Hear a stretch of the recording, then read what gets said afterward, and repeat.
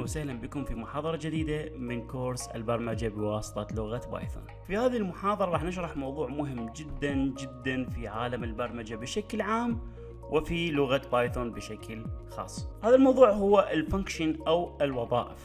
ال function هو من المواضيع السهلة والمهمة في نفس الوقت ال function تقريبا هو مثل قالب الكيك باعتبارنا أنه راح نصنع قالب واحد وممكن أن نصنع به آلاف الكيكات. تقريبا نفس الفكرة على ال function. نصنع قالب اللي هو ال function ونقدر ننفذه على آلاف المتغيرات وآلاف النصوص وآلاف المهام. طيب مثلا ناخذ كمثال. طبعا طريقة عمل ال function. اولا نكتب def ضروري جدا. بعدها اسم الفانكشن. طبعا الاسم آه، أي اسم يكون. بنفس طريقة كتابة اسم المتغير. لابد إنه ما تبدأ برقم ما يكون بها أحرف خاصة. أيضا يجب أن يكون آه، الاسم غير متكرر ويكون حساس لحالة الأحرف. مثلا راح أسميها بهاء وأخلي أقواس بجانب الاسم. بعد الأقواس أخلي نقطتين شارحة. الآن بدأت ال function هذا هو بداية ال function محتوى ال function مثلا راح أخليها تطبع لي كلمة بهاء. print بهاء world مثلا طيب الآن أنا أنشأت ال function هذا هو قالب الكيك اللي أنشأناه. بإمكاننا نستدعيه أكثر من مرة.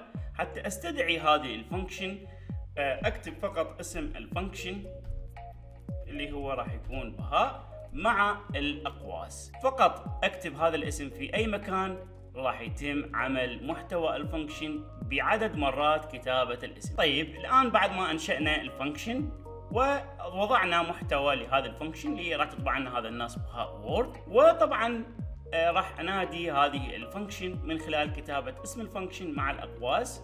طبعا اطبع هذا ألاحظ إنه راح تطبع لي بهاء طبعا بإمكاني إنه أناديها أكثر من مرة مثل ما نلاحظ هنا مثلا ثلاث مرات. راح تطبع لي بهاء world ثلاث مرات. وعندما أناديها ألف مرة راح تطبع لي ألف مرة وهكذا. أيضا بإمكاني إنه أنشئ مجموعة من المهام بداخل هذه ال function مثلا راح أضغط على control D حتى أكرر هذا الكود وراح أكتب مثلا hello علي بهذه الطريقة. ما أناديها مرة واحدة إذا لاحظ أني أنشئ هذا الكود وأناديها مرة واحدة بسطر صغير جدا مثل ما نلاحظ راح تطبع لي هذه البيانات. طيب فاذا ال function هي عبارة عن أداة نضع بها محتوى وهذا المحتوى نقدر نناديه من خلال جزء بسيط أو رمز بسيط حتى تختصر لنا الوقت. طبعا هذه بشكل أولي آه، تفاصيل ال function ممكن ناخذ function بشكل متطور أكثر. ممكن بداخل هذه الأقواس نضع متغيرات أخرى. مثلا ممكن هنا عندي الاسم بهاء ممكن يكون بهذه الطريقة hello ممكن يكون بهذه الطريقة hello وممكن هنا راح أضع متغير راح أسميه name. وهنا زائدا المتغير name. وبداخل المنادات ممكن أنادي الفانكشن مع اسم متغير. يعني مثلا ممكن هنا أكتب اسم المتغير بهاء. إذا أجي أطبع هنا راح يعطيني هلو بهاء. طيب شنو اللي صار؟ نجي نشرح الكود. الكود هو إنه hello ثابتة بس الاسم متغير. هذا الاسم المتغير راح أخلي نفس المتغير بين الأقواس. الأشياء المتغيرة أخليها بين الأقواس وحتى أضيف الأسماء أو أضيف قيم هذه الأشياء المتغيرة أضيفها بين أقواس المنادات. هنا بين أقواس ال function أضيف المتغيرات أسماء المتغيرات. وقيم هذه المتغيرات أضيفها بداخل أقواس المنادات. مثل ما نلاحظ هنا نقدر نستدعي هذه ال function أكثر من مرة مع أكثر من اسم مثلا ثلاث مرات. ممكن هنا راح يكون علي. ممكن هنا راح يكون محمد مثلا بهذه الطريقة. إذا لاحظ hello بهاء hello علي hello محمد. طيب فإذا أنا قدرت أناديها أكثر من مرة وهكذا نقدر نناديها ألف مرة مع تغير القيم وراح تكون الأكشن تفاعلية. بإمكاننا أيضا نضع متغير آخر نسميه مثلا old.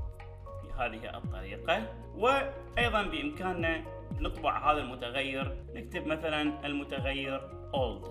طيب طيب راح أحذف علي محمد راح أخلي فقط بها طيب هنا كم متغير عندي عندي متغيرين؟ أنا المتغيرين ضفتهم بالمحتوى. هذه الفانكشن راح تطبع لي الاسم هلو مع الاسم وكذلك راح تطبع لي العمر. طيب فاذا هنا بما أنه عندي متغيرات اثنين لابد أنه هنا أخلي قيم اثنين. حتى أخلي قيمة أخرى أخلي فارزة وأكتب القيمة الثانية. القيمة الأولى اللي هي الاسم والقيمة الثانية اللي هي العمر. مثلا 30 إذا أجي هنا أضع رن إذا ألاحظ أنه هلو بها والعمر راح يكون 30 بإمكاني أنه اناديها أكثر من مرة. مثلا هنا راح يكون علي اخلي عمر علي مثلا العمر 25 إذا ألاحظ هلو بها وهلو علي مع الأعمار. أيضا بامكاني إنه اناديها مرة ثالثة مع تغير الاسم مثلا سلام ومثلا ممكن العمر يكون 40 وهكذا بإمكاني أنه أنادي هذه الفانكشن أكثر من مرة مع وضع متغيرات جديدة. طيب شنو يعني؟ إذا لاحظ أنه الفيسبوك عندما تفتح تسجيل الدخول أهلا بك مثلا بهاء عبد الستار أهلا بك فلان الفلاني. آه هذه ال function هي متغيرة. هو يصنع function والاسم يكون متغير حسب ال user name اللي أنت مخليه فإذا ال function ممكن أنت تصنع دالة. هذه الدالة تصنعها مرة واحدة وتكون متغيرة لآلاف لملايين الأشخاص وبالتالي راح تسهل علينا العملية. طيب طبعا هذا بشكل أولي هذه هي ال function إن شاء الله بالمحاضرات القادمة راح نتبحر أكثر وراح ننفذ function متقدمة ومتطورة حتى نستفاد من عندها بتقنيات عظيمة. إن شاء الله تكون هذه المحاضرة سهلة وبسيطة. نلتقيكم في محاضرة قادمة بإذنه تعالى.